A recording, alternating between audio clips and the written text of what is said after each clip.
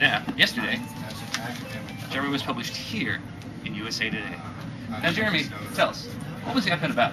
The op-ed, uh, the original title of it was "Theocracy for Me, but not for Thee," and we're simply looking at. Uh, I and my co-author Patrick Hynes, who is the author of a book titled "In Defense of the Religious Right."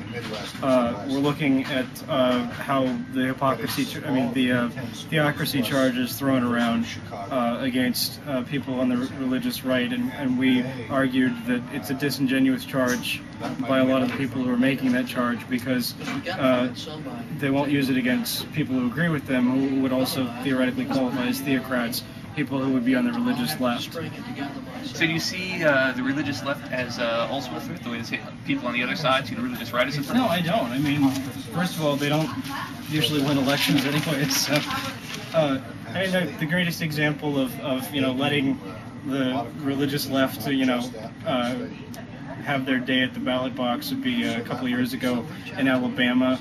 There was a, a an election, a, a special uh, election that was on. Uh, there was about 1.2 billion dollars worth of proposed taxes to benefit the poor and soak the rich, and uh, the, Which the, actually hurts the poor. yes, well, there is that. Is, Uh, is, is he a newsmaker? Uh, not today. Yeah, Please, okay. Go ahead, Sorry, Jeremy. Yeah, not from the grip department. There you go. This has become tiresome.